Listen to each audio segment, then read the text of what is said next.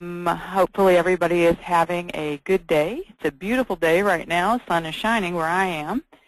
And hopefully everyone had a great weekend. As you noticed, we have had a lot of Tech Tuesdays recently on reporting. And, you know, the reason why we've been doing that is because a lot of you are wanting to get more information out of the system and understand the tools that you have. Last Tech Tuesday, we did a uh, demonstration on how to edit an existing Crystal report that's built into your system. And this Tuesday, we're going to do one on how to build one from scratch. Now, Crystal can be intimidating. Uh, it still intimidates me most days, but uh, you can get, you know, you can get around it enough to know that, you know, hey, I can do this. I can write these simple reports. Some of the harder ones, you know, you, you'll need assistance with, but in the very beginning, it's kind of nice to know that, that you can tackle this, this crystal beast and uh, write some of your own reports. Um, before we start in on that, I also wanted to mention any of you that are going to go to the uh, SAGE Summit this year, if you'd like to let me know if you're, you're registered, we, we could meet for breakfast, lunch, or dinner while we're all there. There's a lot of interesting sessions. Um, they've got a lot of nice general sessions about different different marketing and HR and management and, and so forth. So you might want to take a look at that and see what they have to offer. And of course, it's Vegas. And as we said, what, what happens in Vegas stays in Vegas. So uh, we'll hopefully see some of you out there. I know at least one person is going. So hopefully we'll see um, some more of you out there also. But anyway, on to our Tech Tuesday this is a very basic, this is going to be a very basic intro to Crystal. Okay? Um, there are going to be some of you out there that have a skill level much higher than what we're going to do today. But you know, you never know. You can always pick up a little, a little uh, tweak here or there that that might help you.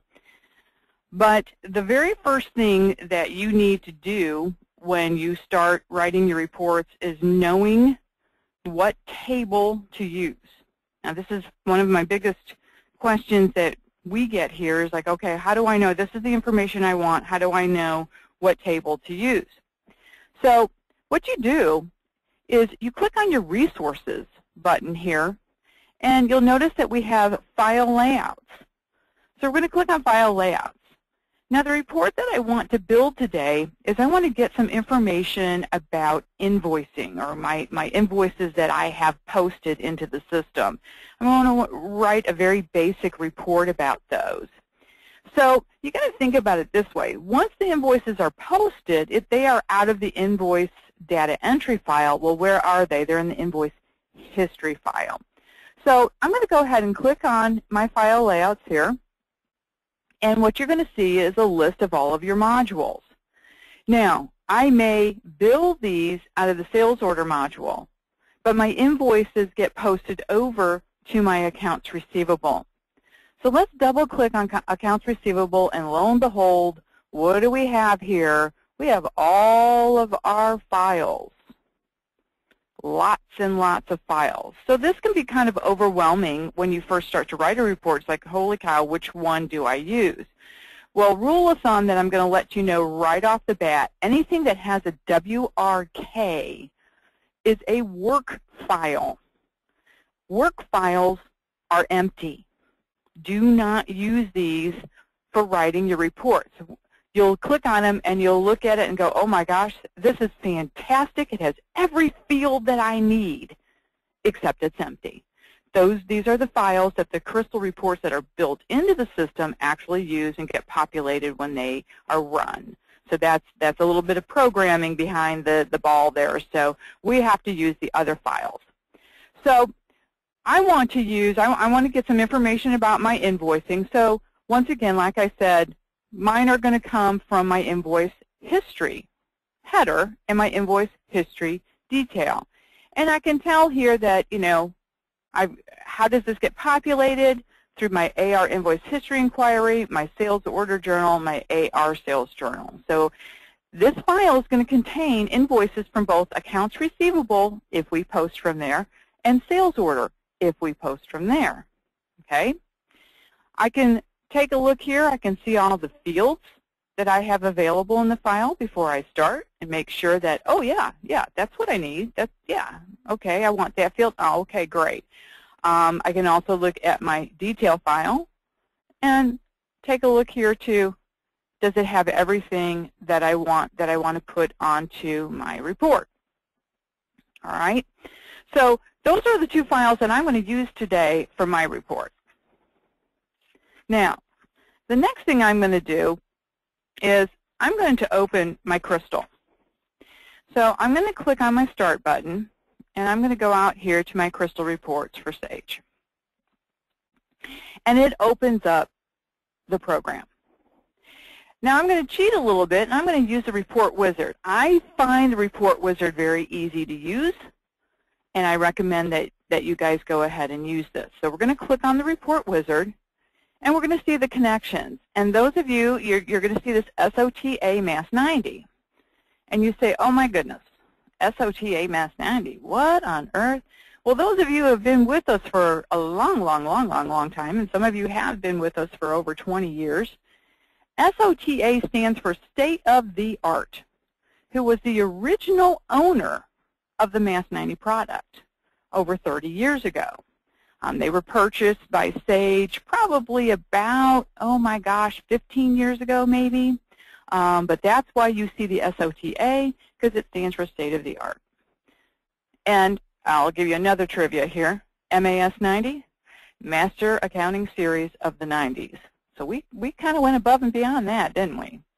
I'm going to click on the plus sign, and it's going to ask me to open my database. So I'm going to choose my ABC company, and I'm going to put my login here. This is your Sage 100, aka MAS 90 login.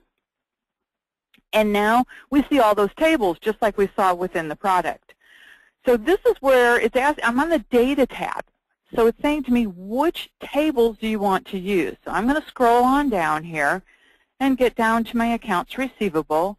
And I said I wanted to use that invoice history detail, and I want my invoice history header. Okay, so those are the two tables that I'm going to use for my report. And now I'm going to click the Next button. The next screen is your link. The system will automatically link the two fields or the fields that it feels you know it needs to join. There are some things that you can do with linking, and sometimes you know we have to get a little aggressive with linking. But today we're just going to say let the system link the tables for us. Okay, um, and we can get further into linking in a more advanced Crystal class. So we're just going to hit next here. Now, fields what fields do I want on my report? And I kind of do this by, you know, in my head, or I may have written it down on a piece of paper. These are the fields that I want. Well, I know I want invoice number, so I can either highlight and then click over this little arrow here, or I can double-click either way. So I know I want invoice number. I know I want item code. I would like item description. And I'm going to scroll down here, and I'm going to choose down, down, down. Let's go a little faster. I'm going to choose quantity shipped. Now, why am I going to choose quantity shipped over quantity ordered? Because I want to show what actually was invoiced for. Maybe the, the customer ordered 20, but we only shipped 10. I want to know what they were invoiced for on this invoice. So I'm going to double click on my quantity shipped. I'm going to double click on my unit price and I want to do a unit cost and I want to do an extension amount. Now I could do a calculation, a formula in the report myself, but I'm going to go ahead, since it's already in, in here, I'm going to just pull the extension amount. Now, that was the last field in my detail table. Here's my header table. And the only thing I really want out of my header table right at this point in time is my invoice date. So I'm going to grab that invoice date, push it on over, but I don't want it as my last field. I'm going to kind of push it back up here under invoice number. Now, can I move it once I get it onto the report? Yeah, I can. But since I can kind of align them, I'm going to go ahead and do that now. Now I'm going to hit next. I can also put a group in. Now, this is optional. Now, what do I want to group this by? Well, I want to know what customers have purchased what items. So I'm going to go down here. It's not, I didn't put my customer number in as a field, but I'm going to choose customer number as my group. Okay, and I'm going to do it in ascending order. Now I'm going to go and click Next. Summaries. What fields do I want the system to summarize? Well, I do want to know the quantity that they were billed for, but I don't want to summarize my unit price. It's kind of silly. And I don't want to summarize my unit cost, but I do want a summary for my extension amount so I can get a total. I'm going to go ahead and hit Next. Okay. Now, under group sorting, I'm going to let it sort by customer number. I'm not going to change anything on here. I'm just going to hit Next. And I'm not going to add a chart to my report at this point in time. So I'm going to hit Next here. And I have the ability to select, to put a record selection in here. It's optional. I'm going to handle this later on in the report. So at this point, I'm just going to hit Next. I have no specific template that I want to use. I can actually choose from different templates, but I'm going to say no template and hit Finish. Remember, today we're keeping it basic. Okay, so here is my report. Now, this is great. I got data. That's fantastic. That's, that's step one. But now I want to clean it up. So first thing I'm going to do is I'm going to attack my columns. Now, this, I am on the preview pane. See how the preview is highlighted over here? I can also go to the design pane. Now, sometimes I prefer to work in design rather than preview. But for right now, we're going to go ahead and work in preview because it's sometimes it's a little easier to see and, and understand what, what we're doing at this point. So I, you know, my, my column titles look kind of ugly. They're cut off. So I'm going to edit my column titles. So I just right-clicked, and I'm going to edit text. I'm just going to come over here with my arrow, and I'm going to take some of these characters out, put a space bar in. I'm going to do the same thing for my invoice number. Put a little space in there. And my invoice date kind of shorten that up. And my item code, let's put a space in there, make it look a little bit nicer. And my item description. You know, so far so good. Not not too not too hard. So we're just going to say quantity here and take out shipped. And then we're going to take our unit price and just call that price. And our unit cost, and we're just going to call that cost. And our extension amount. Okay, so that was all our column headers. Easy.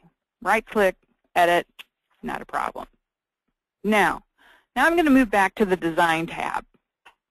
You'll notice that we have, you know, our invoice numbers kind of cut off a little bit. We've got a repeat on our customer number.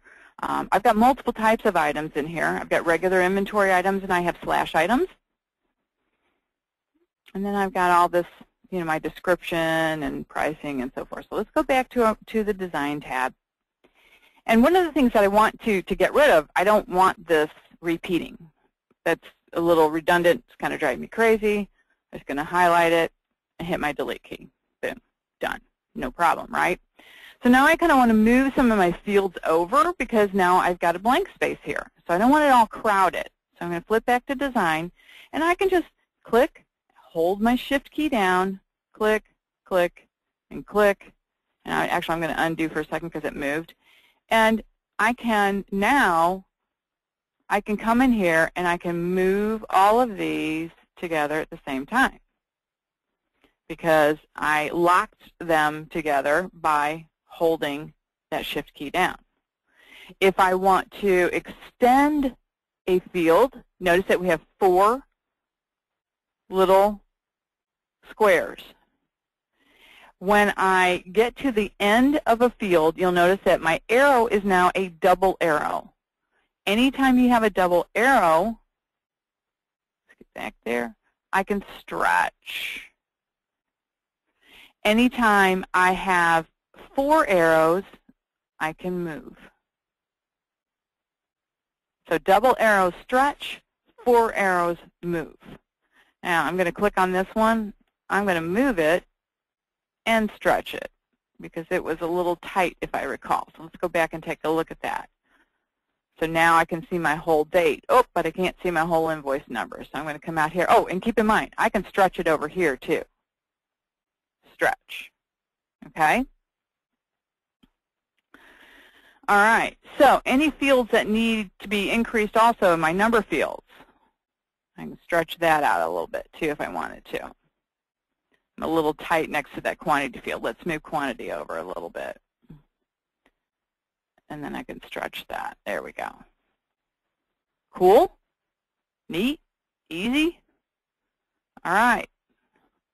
So I moved my quantity field over. Oh, I forgot to take a, hold on one second, guys. I got to log out of my phone here. Let's see if it'll let me do that.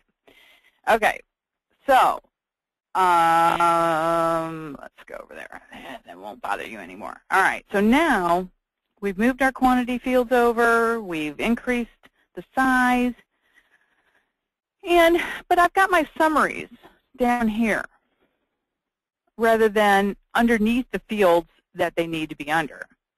So what do I do? I'm going to do this in design because I prefer over here. I'm just going to drag it down over here. Okay? And I'm going to do the same thing for shipped. I'm going to drag it over there. And I don't care if I have the group name there, so I'm going to take that out. Now, I want my, what you're going to notice when I drag it, see I'm not even here. This one's pretty good, but this one's not. So let's go over and take a look and see how I can fix that. If I highlight, and highlight. Oops, let's undo. Sometimes when I highlight, I move accidentally. So I'm going to right-click on this field, go to Align, and say Left. And that did not work at all, so let's try that again. Right-click, Align, Left. Yep, it's not working for me. That's okay. We're going to undo that. Sometimes that happens. I'm going to just move it over. And there we go. Sometimes it's a little bit obstinate, but we get it in the long run. Okay. Now, the other thing that I want to do is you'll notice that in here, I have the customer number. I would like to have the customer number, but I also would like to have the customer name. Um, so what we're going to do is we're going to go to our Field Explorer here and click our plus sign. And we're going to click on the Bill to name, and we're going to pull it over here. There we go. Now, I also want this underlined just like my other one is. So I can click my down arrow here, and my borders, and choose bottom border. And I'm going to bold it so that all matches. So that looks good. All right, now, the other thing is I use my miscellaneous items for maybe I'm giving somebody a credit or, you know, whatever. And I don't want them on this report. I only want to see my inventory items. Well, if I go back to my file layouts, let's find that invoice history detail. And here I have an item type field. And it tells me that an inventory item is equal to a 1. Miscellaneous items are equal to a 5. So that tells me that I want only my type 1 items on here. So how do I restrict the report to know that I only want the type 1's item, items on here? Go to report, go to select expert, and we're going to go to record. So it's not one of the report fields. So I'm going to scroll down here, and here's my item type field. I'm going to choose that and click OK. And then instead of saying is any value, I'm going to say is equal to, and I have a down arrow here, and I'm going to choose a 1. Once I hit OK, I'm going to use my saved data rather than refreshing you know, the whole database again. So I'm going to say use save data, and all those slash widgets are gone now. And I only have regular inventory items. Now, guys, honestly, I'd have to go back and look at the data to see why I don't have a description here, but normally you would have a description on every line. But that's something to do with my raw data. All right, now, I also want to change my sort order in here. So I'm going to go up to Report, and I'm going to click on Record Sort Expert, and I want to sort this by my item code. So I'm going to highlight my item code, push it over there into my sort field, and say OK. So now my items are sorted underneath each customer. So this is what this customer has purchased. I have multiple dates because this is, right now, since I'm using the history file, this is looking at my entire history file, whole thing. So if I have 70,000 invoices in my history file, it's looking at that entire history file at this point in time. Okay? Keep that in mind because sometimes for some of you, um, when it goes to get the data, it may take a little bit longer than these seconds that you're seeing here. All right. So the next thing I want to do, this is great. I've got it sorted. Um, I also want to add uh, a date range because as you can see, this is from 2010, 2014, et cetera, et cetera. So I want to add a date range, and in order to do that, I have to add a parameter field. So I'm going to click on my parameter field, and then this button right up here is my new button. So I'm going to click on new. And I've got to name this field. So I'm going to call this field invoice date. And I have a choice of types here, and I'm going to choose date. Now down here in my options for my um, allow range of values, I'm going to make that true. And as soon as I hit OK, it's going to pop up. Oh, no, excuse me. I'm one, one step ahead of myself. So you hit OK on that. Then you want to go to Report, select Expert, and then Record again. Now I'm going to hit my New tab, and I know that I want to sort on invoice date. So here's my invoice date field, or excuse me, select on invoice date. So I'm going to click OK. Now I'm going to click my down arrow, hit equal to, choose my down arrow. Once again, if I have 70,000 records in here, this is going to take a minute to populate. But I want to choose this question mark invoice date. That's my parameter field. Now, as soon as I hit OK, it's going to pop up with, hey, enter my values. Well, most of my test data is in 2005, so I'm going to go ahead and enter, enter that date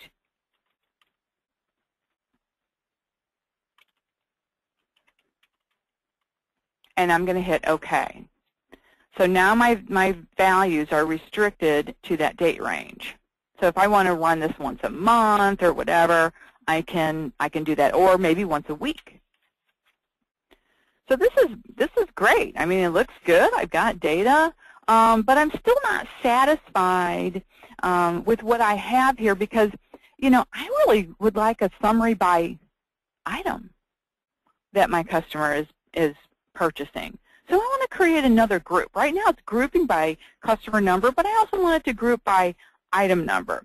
So what I'm going to do is I'm going to go up to Insert, and I'm going to say Group, and I'm going to choose Item Code as my group, and I'm going to hit OK.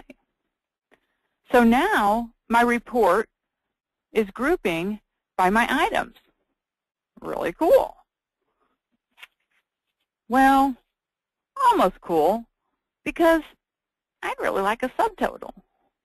So what am I going to do? Well, I'm going to right-click on my quantity field here, and I'm going to tell it to insert a summary. And I want it inserted for my item code. Okay? So I'm going to click OK. Nice. Except I like to have it have a, a top line there. So it looks like a subtotal. And let's do the same thing to the extended amount. We're going to insert a summary for my item code. I'm going to OK that. And we're going to put a little top bar there. So now I have a summary by customer, by item, by date range of what the customer purchased. Cool. Awesome. So now I could even put, if I wanted to, I could put a parameter field in here, another one, that had me pick the customers. Maybe I want to run it by just one customer. Maybe I want to run it by a group of customers. Either way, I could add that in if I wanted to, but I'm not going to today. When I'm done with my crystal report, I want to save it. So you can do File. You can tell it to save it with the data that you're using. Usually I don't do that. I will take that out, and I'll just do a Save As. And you know, maybe um, I've got a special folder. You know, here I've got a Tech Tuesday folder, and then I will call this my AR invoice. How about let's do Cust invoice report. Okay? And I can save that. Now, if I'm going to put this report onto my menu within your Sage 100 product, the report name has to also have the word custom in it. So I would actually do something like this instead. Okay? The other thing I want to point out while we're here is every one of you, when you go into Crystal, go to Help, and there will be a check mark in here where it says check for updates on startup. Take that check mark out, because what we have found is when that thing is checked on, it makes Crystal start really, really, really, really, really slow. Okay? All right, so here we've got our Crystal report. We've saved it. Um, I'm going to go ahead and close it. And I hadn't originally designed this as part of the session today, but I am going to go ahead and add it to our menu. Um, so let's go ahead and go to Modules and Library Master and Setup. We're going to go to Report Manager because what am I going to do here? I want it, I actually want it on my custom reports folder here. Okay, and this is what we're going to do. So from Report Manager, I'm going to say Add Report to Menu. Next. And I'm going to choose Accounts Receivable as the module I want it added to. Then I have to tell it, well, where's the path? Where is my file? So I'm going to click on my File folder, and I actually have a uh, Tech Tuesday folder down here. And here's the report that I just named with the word custom on it. Now, keep in mind, this is a very important note. The report name must end with custom.rpt and be less than 30 characters. So a lot of times you'll, you know, when I'm on the phone with you, you'll see me counting. You know, one, two, three, four, five, six, da, da, da. Has to be less than 30 characters. Okay? So we're going to call this our customer item history. It's going to be the name of our report. And we're going to hit next. And then who, what users have the ability to print this report? We're going to say all. And then we're going to say next. And now I'm going to click on Finish. Now, I'm going to close out of here, go to my modules, go to accounts receivable, here's my custom reports, and voila, there's my custom item history report. The first time I use it, it may ask me to convert it, so I'm going to go ahead and click on it. Say preview. Here we are. It says it wants me to convert it. I'm going to say yes. It pops up with that parameter field for the date.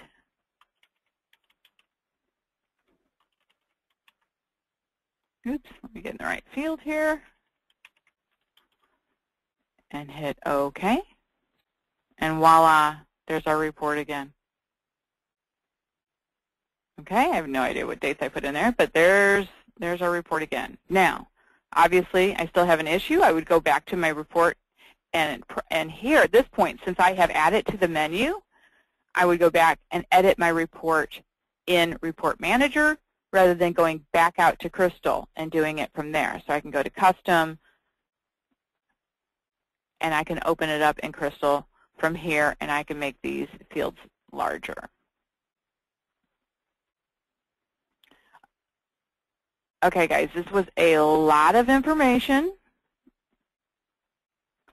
Um, I don't expect everybody to to have grasped all of this, you know, um, in one sitting. And, and, like I said, for some of us, I know that um, you, you're way beyond, you know, what we showed today. But for others of us, it, you know, it's it's a good beginning. It's a good start. It's a good way to to to see, you know, how to at least make a start.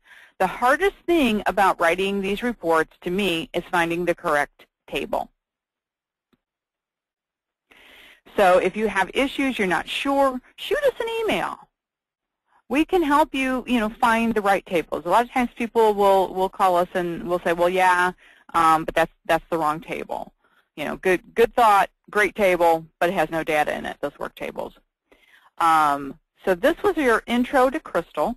We are going to be doing another um, uh, seminar or webinar here pretty soon on the Sage Intelligence program that's built into the system. It is another report writing program that is not necessarily intuitive, just like Crystal is not one of those that you can, you know, get, you know, just sit down and start whacking out crazy wild reports. Um, but we'll be doing another one on the Sage Intelligence. That product was originally written or acquired by Sage in order to replace FRX, which is a financial report writer. The majority of us use the standard reports in General Ledger, and they're fine, but some of us need FRX. I will tell you that Crystal is a very difficult program to write financial reports in, so you probably want to stay away from doing that in Crystal. But um, this Sage Intelligence also has a connector to other modules. So you, it's not just limited to financials. You'll be able to write reports uh, and link them to the other data and other modules if you have the connector module. But in the meantime, I want you to start playing with the crystal. You know, if you've got a quick and down and dirty and easy report you think you might want to try, go ahead and see what you can pull out of there. Remember, you also have your Excel queries, and we also have our lookup wizard where we can push data out to Excel. But sometimes, you know, a, a crystal report is just something really easy to do when we have, um, you know, something that we need to get out very quickly. Uh, in the past, we have um, written some very intense crystal reports, and they can get very, very, very difficult um, and very, very complex in, in getting some of your data out. Now, we have a question here, will the intelligence allow us to combine data from multiple MAS companies? And the answer, drum roll please, Yes, it will. So I, I can I can actually feel somebody jumping up and down, clapping his hands right now. So, um, but yes, that we can do multi-company consolidation for your financials in the intelligence program. Uh, Suzanne is is the person who has taken over for Stacy, and she is learning uh, intelligence right now, and actually she's, she's got a pretty good feel for it already. So she will be putting on a webinar within the next couple of weeks. Uh, one of the webinars that we're going to be putting on shortly too will be what's new in 2013 and what's new in 2014. Those of you are, uh, some of you are, are just now getting onto the 2013, some of you are just now getting on the 2014. Um, I need to tell you that um, version 4.4 is going to be phased out as far as SAGE supporting the 4.4 uh, this year. But as usual, we will support any version that you guys have as long as we can we can do it. So we we actually still have some people on 4.3 and maybe one or two versions prior to that. So anyhow, that was my crystal for the day. This is your Tech Tuesday for the day. I hope you all enjoyed it. If you have any questions, definitely please shoot us some emails, give us a call. And we look forward to talking to you again in the next couple of weeks. Hope you all have a good day. I will send out this information because I know you're going to be clamoring for it. I'll send out the Tech Tuesday documentation a little bit later on today. You guys have a good day. That's all for now. We'll see you soon. Bye-bye.